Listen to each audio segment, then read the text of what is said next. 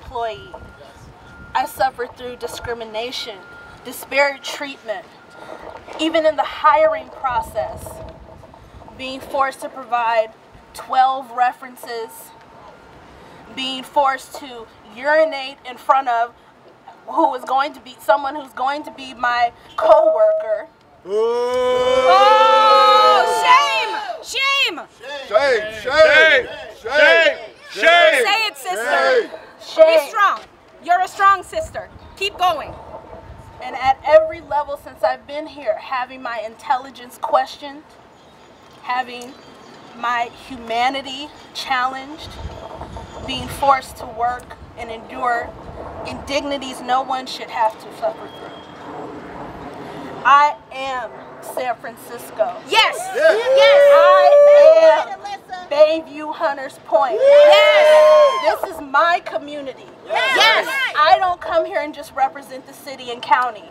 I represent every African American, every black person in this community That's right. who just wants a fair shot at the American dream. Amen. Amen. All I want to do, all I've ever wanted to do, was serve my community with dignity. Amen. and to have my dignity stripped away in pieces every single day by people in positions of power. It's not fair, it's not right, and it will not be tolerated. No. No. No. No justice, No peace. no justice, No peace. no justice, No peace. That's why it's very important for unions like SEIU, Local 1021, for Local 21, who has members here, to stand up when you see injustice Yes. anywhere. Stand up. Yes. Yes. Call them out. Amen. Tell them this will not be tolerated. Yes. We are all human beings, worthy of dignity Right. And humane treatment. Amen. That is Amen. all we can ever ask for. All, and we should not even have to ask No. for it. No. Those are human rights. It's okay. It's okay. We got you. And to tolerate this, to swallow my pride, so I can provide for myself and my family, and go home every night in tears. Because I can't fight for myself. Because I live in fear that if I bring anyone else into this, they will be harmed. As my shop steward was harmed, he was assaulted by a fellow employee in front of the chief medical examiner, Dr. Michael Hunter. Michael Hunter. The medical examiner apparently has a TV show. Oh, it's on the Reelz network. It's uh, um, autopsy, last hours of. And he reads autopsy reports of celebrities who passed in other jurisdictions. But Do you think the city should be, you know, investigating this? Well, I don't know if they should investigate, but they do have to approve secondary employment. This is secondary employment, so somebody probably should take another look at that, I think. On top of his salary, he's making another salary with it. Yeah, he's pulling down a pretty good salary for his job as the uh, chief medical examiner, um, and I, I understand TV pays pretty well as well. Even I guess, it- I guess it's a good gift. Brenda Barros. Um, what's here happening today? We have an employee here who's an African American woman who is being terrorized by the management here. And one of the, Jesse, who is one of the stewards, who's been trying to help her, he's even been physically attacked. So this is very serious and we cannot tolerate this. And isn't that illegal? It is illegal. But you know, unfortunately, they work for people that carry guns, so it's very difficult to hold them accountable. But we're going to try our best to hold them accountable. We already have this issue of being attacked on pretty much every level. We're being attacked by the uh, federal government. We're being attacked by multiple different employers. We do not need these attacks taking place here in the city and county of San Francisco. Is that right? Yes! And we will not allow it. We will not allow. Okay. And uh, you think he's going to get the message here today? I hope so, and I hope change, positive change, comes from this. We as city employees, we are the life's blood of this city. Without us, without the rank and file, nothing functions. Because management is not going to take over and do the work that we're doing, but they do reap the benefit of it. The city reaps the benefit of our hard work. The least they can do is treat us with humanity and respect and the dignity that we deserve. This atmosphere of intimidation and threats, people are terrorized. I mean, it must cause health problems for people. Well, uh, yeah, and and it's um, you know our work is important. I mean, it, it disrupts the work that we do. I mean, the, the day-to-day work that, that we want to be doing, that we that we signed up to do, and we want to do, uh, is disrupted by by this intimidation and harassment. A lot of people I know in the city have ended up going off on disability because of stress and pressure. Is that a problem that you know of? I mean, people going off on disability? That that would definitely be a problem. Cost the city money. It seems like it would. And the worker. and it disrupts the operation. I mean, it disrupts the, the day-to-day operation of, of doing the business of the people of the city and county of San Francisco and the office of the chief medical examiner. Can I just speak to that? The work that we do, especially here at the office of the chief medical examiner, we work very intimately with the community. We're dealing with people who have lost loved ones in this city and in the surrounding area. We have so much dedication and passion for what we do, regardless of any title. We are public servants, and a part of our duty is to have care for the community that we're serving. And the fact that harassment, discrimination, union bashing has taken precedence over our duty to the community, it's a shame and it's a disgrace to everyone in San Francisco. You think the medical examiner cares about that? I mean, it seems like if he's spending all his time allowing the kind of harassment going on, what does that mean to the community here who expect, you know, some, you know, professional treatment and love and warmth? I I honestly can't speak to, to his mindset, but as a member of this community and of this neighborhood, it's very disturbing because when I walk through those doors as a city employee, I'm walking in also as a member of this community. And to be able to do my job effectively, to provide the level of support and care that I bring to my work here, and to constantly be harassed and bashed under the auspice of this office, it's intolerable and our community will not tolerate it. We've suffered enough. All we ask is that you treat us with dignity and respect, that you treat our loved ones with dignity and respect, that you interact with us on a human level. That's all we've asked for. And I, I asked the uh, staff here if they had uh, any comments. They said no comment. There was somebody from HR, Micki Callahan's office. Do they know about this? It's been told to them. Grievances have been filed, so I don't know how they can say they don't know. They know. And the other thing is the union has been asking for records of systemic discrimination. Uh, what's the city, uh, Micki Callahan, the city? So far, so far they've been refusing to give it to us. We've asked for it over and over and over again. Over the last two years, we've been asking for it. Aren't these public records? Give it to us. Aren't they public records? They're saying that they don't collect that data. And we don't believe it because I've seen it one time about four years ago as a part of BAHI, which is the Black American Health Initiative in Public Health. So I've seen it broken down by classification. So it's really disingenuous for the city to say they don't have it. Is there a reason you think they would say that? I think because the numbers are going to look so bad and they don't want to be embarrassed. Because we know from being out in the working world, if employees or people in the public just walk into any public office and you look around and see what you see, and it's very clear. And the medical examiner apparently here is a, is a TV star as well.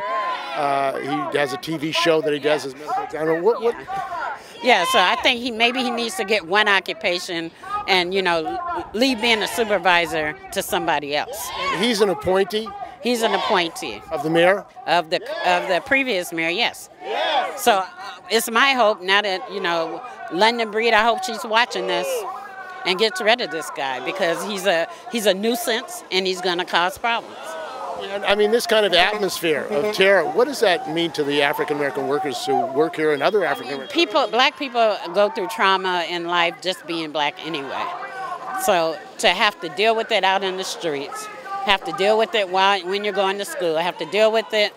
You should not have to deal with it in the workplace. It is against law. So they're breaking laws and they're not being held accountable. We want them held accountable. We want the law followed. When people discriminate, there has to be a consequence. And I've said it before in different rallies. It's like, it's okay if they try to work with these people, but at a certain point, if they can't change or they don't want to change or they're so racist they can't change their behavior, they need to go.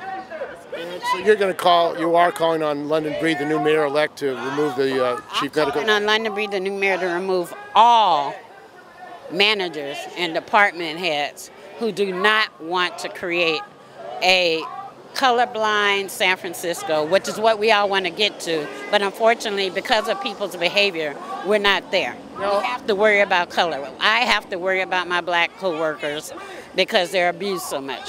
Latinos are abused too. Um, even Asians are, everybody's abused. But a majority and the brunt of the disciplines and everything else is toward black employees. And the kind of harassment you have on the job in many cases leads to workers going on disability, workers' comp. Uh, it's costing the city money. There have been million dollar lawsuits of illegal discrimination, bullying of employees. I mean, it is costing the people of San Francisco a lot of money. In addition, I'm sure it's costing them a lot of money in lawsuits. Uh, There's tons of people that go off on stress because they can't take it anymore. And so all these things impact the services they get because then that impacts the staffing. And so they need to fix it. They need to get rid of these people so that people can come to work and be happy at work. You know, nothing is 100% perfect. Nobody's expecting that. But nobody should have to deal with racism on the job. San Francisco's a union town. Rise up. Shut it down! San Francisco's a union town! You can do it. Can we? Can we go in with you? Inside? Oh yeah, that's fine. We'll go inside with you. All right, we'll leave it inside. Right. Right there. Yeah, appreciate Yeah. you guys. But no one. Roll it up. Take it off the board. Roll it up.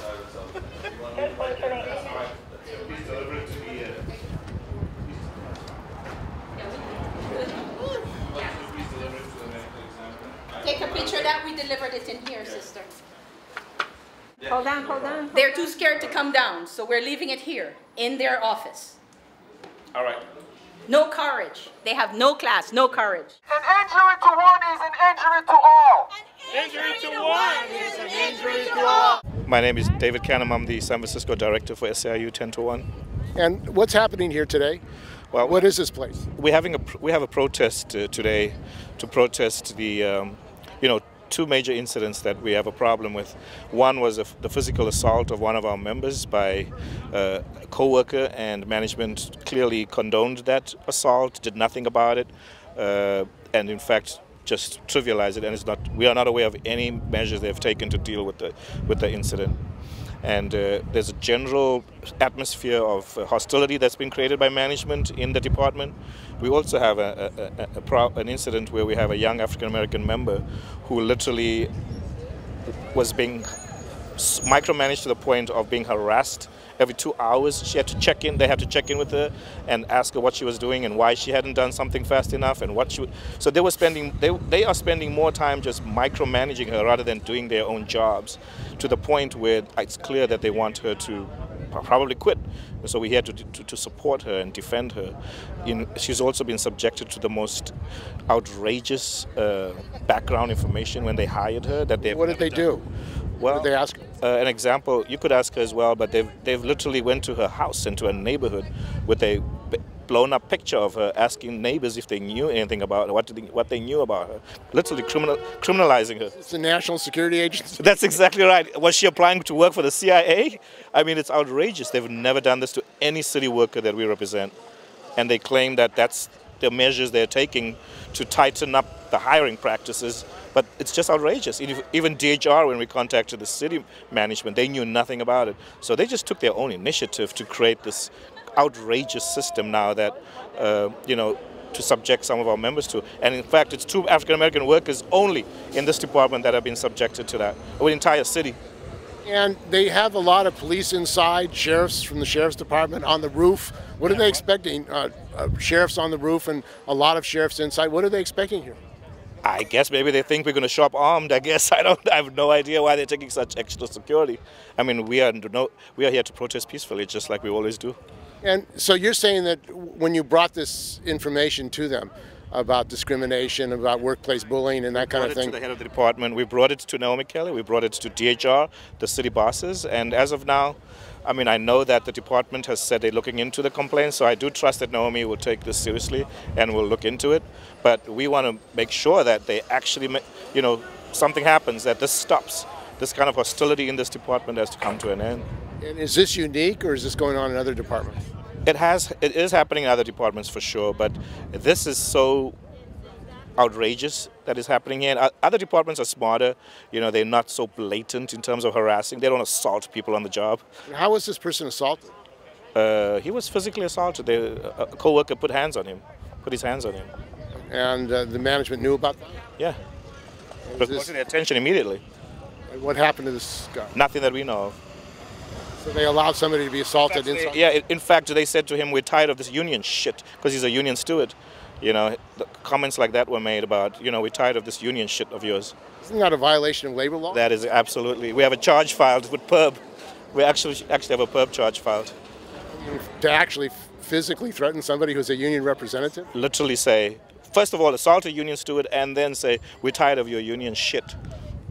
It's outrageous. Uh, the chief examiner, uh, medical examiner, is he appointed? The chief. Or is, or is he? Uh, I think this hired. I think he's hired by the city. Yes, he's not elected. Yes. By the by the mayor. Have you brought this up with the new mayor, uh, London not yet, Not yet. Not Are you going to? We hope to bring it to their attention, yes, because you know we have a hearing at City Hall July 18th around the broad, you know, discrimination and mistreatment, especially of African American workers in the city. That hearing is coming up in July. We've asked. Uh, I understand you're asking for information from the city about uh, records of discrimination, harassment of uh, African, particularly African American employees, disciplines, and the city is saying that they can't provide that information? Yeah, they're dragging their feet. They they have not given us any affirmative response that says we're going to work with you on this. So we, that's why we want the hearing and hopefully pass legislation that compels them to actually track how people are being disciplined, who's being disciplined, who's being promoted, who's not being promoted, who's being separated from probation, you know, who's being hired into certain classifications. We want to, to clearly see what's happening in all of these departments, and they seem reluctant to work with us. Isn't that public information? I mean, it's like not secret. I mean, it's, it is actually actually Micki Callahan issues a report every five years, but the report is so generic that you never get to see what's really happening in terms of hiring trends, and it doesn't include the disciplines and who's being separated and mistreated. We want to know that too. We want those reports. And there's also an issue of uh, this workplace bullying leading to uh, people going out on workers' comp disability costing the city a lot of money. There have been millions of dollars spent on people illegally fired because of bullying. I mean, is this, do you think it's costing the people of San Francisco a lot of money, the treatment of the workers? I think it's in everybody's interest to make sure that if, if managers, if people in, different, in the departments know that somebody, people are going to be looking at reports, they'll probably be uh, reluctant to mistreat people. So that's our goal, to limit, it's not going to go away, but at least we will look at trends and look at where the problems are. Now, Micki Callahan is the head of the Department of Human Resources. Uh, the head of the Civil Service Commission, Jennifer Johnston, is married to uh, the Sean Elsbernd, who's just been appointed as a uh, chief of staff of London Breed. You think you're going to get a fair hearing? It seems like these people, civil service. service. I mean, civil service apparently knows about it. Right. They're responsible for oversight of what's happening with the civil service. Right. I think you should ask the mayor that. I mean, they already have, we've had problems with that body in terms of failure adjudicating problems that we brought to their attention. So you might want to go ask London Breed if she's aware of that and what she thinks about that. That's a question for the new mayor. I think so. yeah. Are you going to be raising that in an inauguration? Hearing, well, civil service, that's a whole other campaign that we need to look at because, yes, we've, we've had members have raised concerns about whether that body is really fair and whether they really listen to workers' complaints and uh, take them seriously. because you know they're kind of a body that operates. You never know what they've investigated. You never really find out what they've decided. What They, they don't make reports and surveys of, of the work. but you can ask. But it's not an open body. It's definitely not. Civil service. No, it's not. Now, also, lastly, on on Janus, uh, there's this Janus decision, which uh, basically outlaws agency shop, and they want to eliminate really union membership. That's the the end game. Uh, what effect do you think that will have in San Francisco with the working people here, the public workers in San Francisco? You know, uh, for, for I, I, I won't be able to speak for everybody, but for our local, we've been spent we've sp- for the last three years now. We've been making preparations for that. You know, signing people up and reminding people why the union matters, what the union difference is, and what we've gained over the decades since we've workers have been unionized. So, majority of our workers get that this is an attack on working families. They get that this is an attack. You know, this is an agenda against not just workers but everyone. This comes on the heels of, you know, the decision about uh, the upholding the Muslim ban. You know, who's next? They're probably going to come after banning abortions. I mean, it's just a non-stop, continuous attack. It doesn't seem like the Constitution means much with this. No, not at all. Not with this. Not with this group. they have a problem with the Constitution, actually. It's uh, Muslims. I mean, discrimination. Immigrants, Muslims, workers. Who's next? Right? Gays. So, you know? what do you think the response of the unions nationally is going to be to this? And uh, because it, uh, the public workers are the largest percentage of organized workers in the United States, and obviously weakening public workers would would weaken the entire labor movement. I mean, honestly, I think that uh, it's unfortunate that there isn't more outrage uh, from the public, from our workers throughout the country, but I think that's coming. I think they'll, you know, we're not going to we're not we're not going to take this lightly. It's going to make us more militant. It's going to make us more uh, proactive, organized, more proactive. Yes, I think it's going to change how we operate. It's going to change. It, it, it has to, right? Because we're going to have to operate now outside of the normal, tried and tested. Uh, strategies that we've utilized. Now, SEIU has more than 700,000 members in California. It's the largest union in California. Uh, are there any plans for any united action by all the members of SEIU in California? We're talking in San Francisco of possibly uh, organizing a, a, an event, a protest that would involve all unionized workers and invite allies and other organizations to participate. Most likely sometime in July, hopefully, maybe Labor Day will be the day. We're not sure yet. We're still in talks about that. So it's coming. No peace. If we don't get no justice, you get no peace. If we don't get no justice, you don't get no peace. No justice, no peace. No justice, no peace.